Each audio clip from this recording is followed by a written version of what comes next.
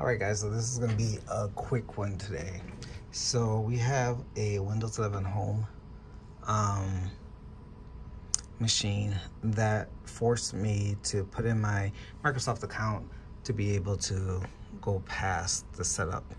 So what we're gonna do is we're going to take out the Windows account now that we're in and we're going to create a local account. So the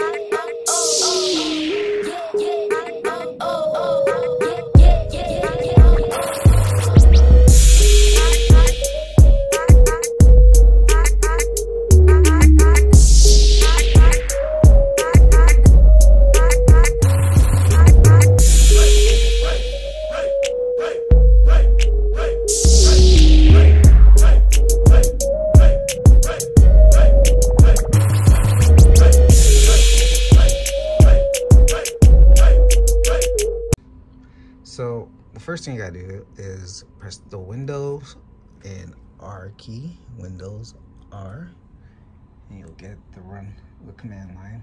So you'll get the run line, okay? And try to record this with one hand.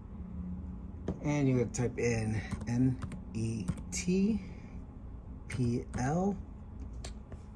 close this, P-L-W I Z. Hit enter. Okay, so this comes up. All right, as you can see, my Microsoft account is in here. So we're to go add, and we're going to.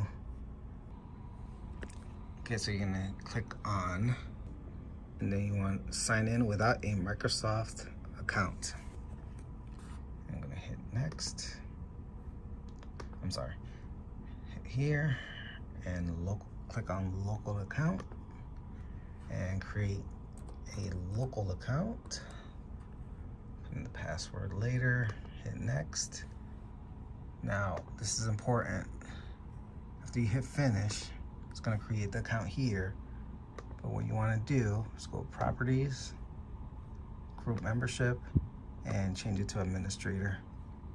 Apply, okay, Okay, now you want to log off.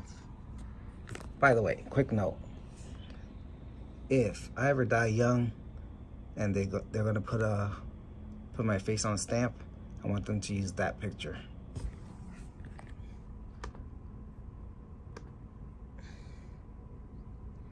All right, so then we go in here, log in as the local admin account.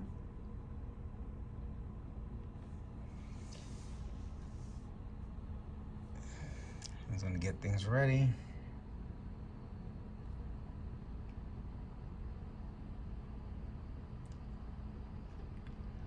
Now, anything that you did under the first account, your, your Microsoft account, you are going to have to redo. Because when we remove the account, it's gonna remove all the settings and everything. It's not gonna re remove any updates or um, Windows updates or any updates um, that you installed, but any programs and stuff that you installed under that account, I, I think it takes it out. I'm not 100% sure. But anyways, so we're gonna go back. Now, this, instead of doing the Windows R, you can also type in run down here, and then you'll see this app here. Click on that, and then you can type in the net P-L-W-I-Z, net P-L-W-I-Z. Okay, brings it back up, highlight your Microsoft account and remove. And it gives you this. Make sure you want to remove, yes. Okay, and that's it. Easy peasy, lemon squeezy. All right, guys, so that was a quick one. So go ahead and hit that like and subscribe button if this helped out. And if, if you could even, even share it with your friends. And I'll see you guys on the next video.